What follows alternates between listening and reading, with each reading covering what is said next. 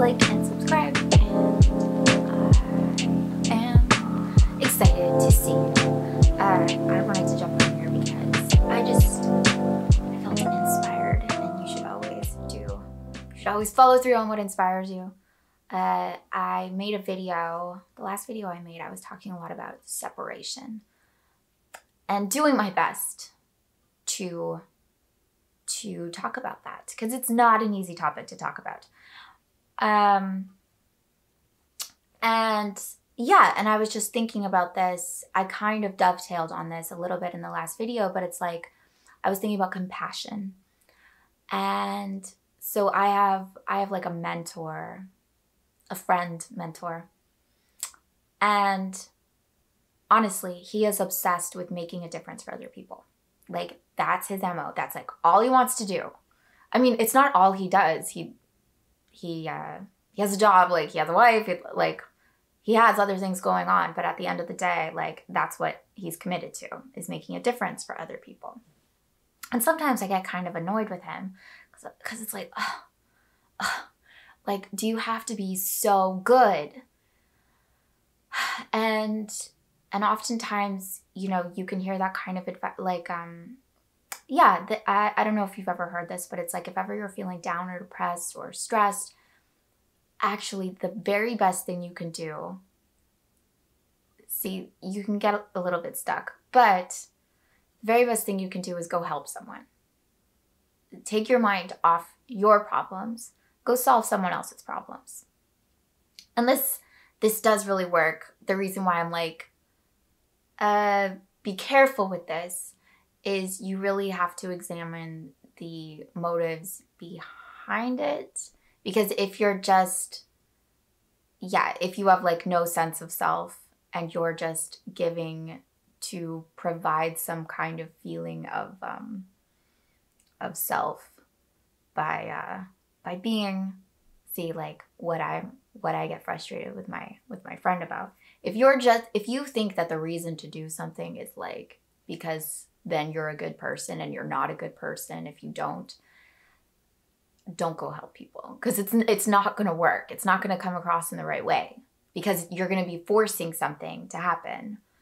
And and if you're just doing it from a place of like gener like pure generosity generosity at its at its true nature then you're not really going to care about the outcome. Like you're going to care, but you're going to be unattached in a certain way. But anyway, um, thinking about separation and and leading into this, um, yeah, the thing is,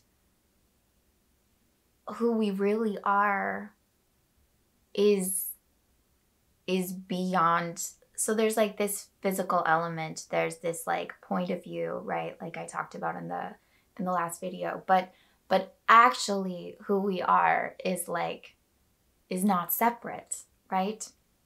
So whenever you go out and you are with someone i mean it doesn't even have to be helping. It can just be like with someone like really with them really present with them. You are actually closer in that moment to your true nature. The minute, like, so anything that really like takes you off this, like, I think of it like suction cups, like, like identifying with this is like you're you're sucked in, you know, and and when you can release those like octopus tentacles and and be more in alignment with what you really are, it feels so good. We know it feels good.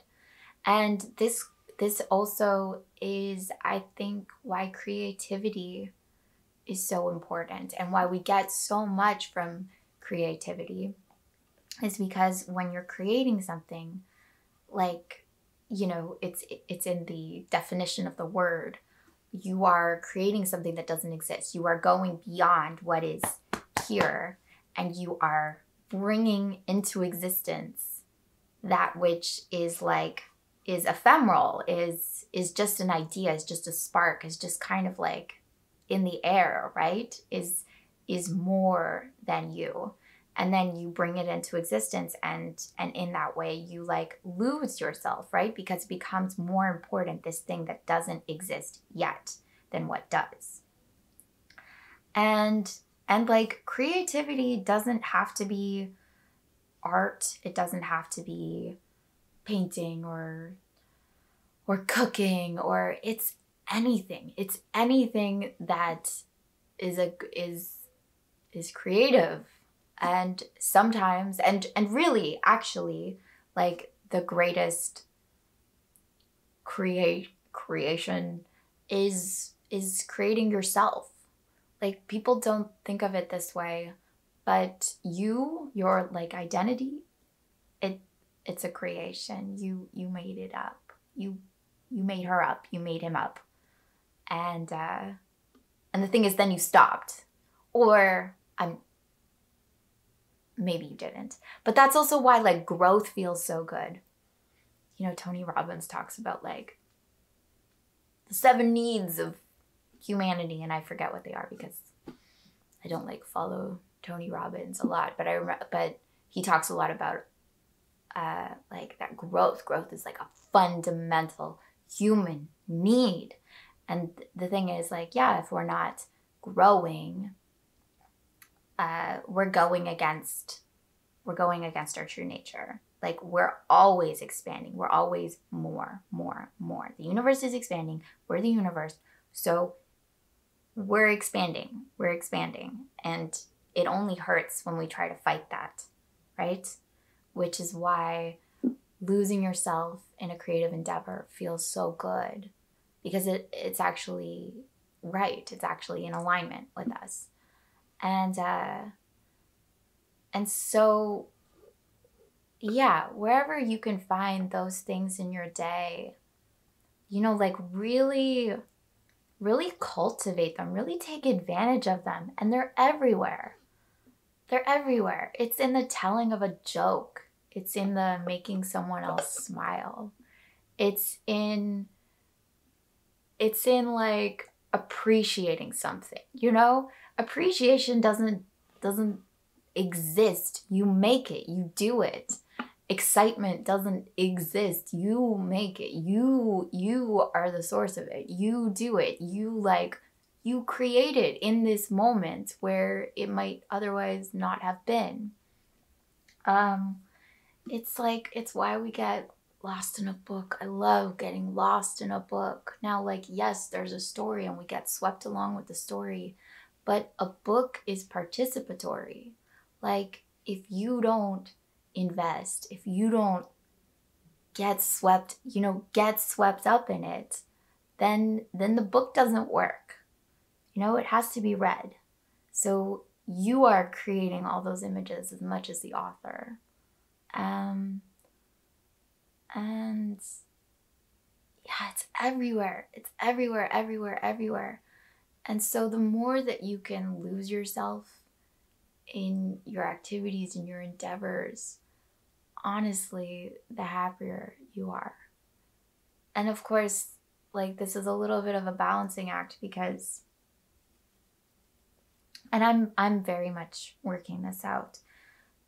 There's there's the physical, there's like gravity, right? There's the physical, there's like what is trying to bring us down make us realistic and make us practical and make us physical and embodied, right?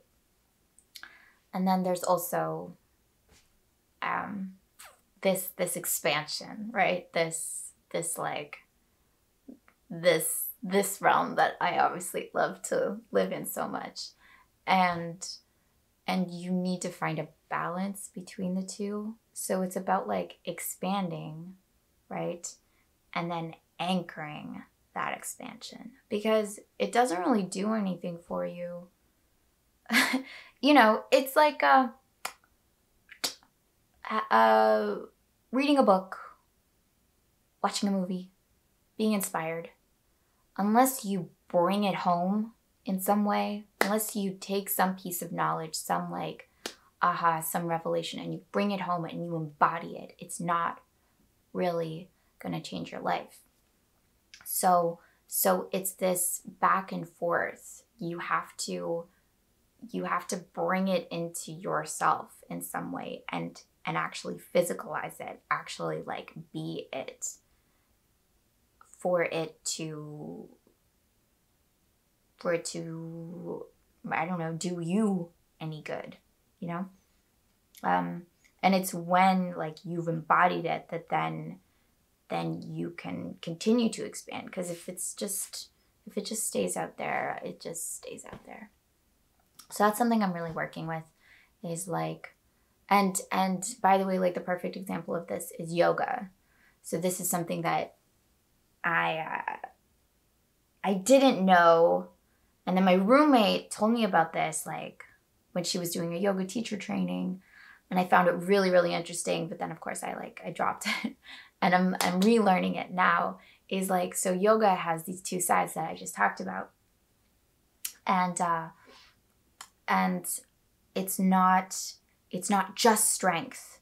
And it's not just flexibility to put it into those terms but really it's like I mean yoga is a trinity so you're working you're working like mind body and breath in all those in all those ways. Um but you right you want to be expanding you want to be stretching you want to be like reaching for these poses you know and and breathing into all those spaces. But then you also want to be anchoring and engaging the muscles um, while you do this. And and that's something I definitely didn't used to do because because uh, it felt like work. And and I have had this relationship with work that feels suffering and painful to me. But now I don't know if it's just that like I have a new per- perception about it I just don't mind it. I see I see it has another use. Um, and it's not necessarily work it's just like it's embodiment right? It's bringing it home. It's bringing it home. So uh yeah bring it home. Bring it home. Okay there's like a blizzard outside and i don't know if i'm gonna go for a walk today but maybe i will. It's very impressive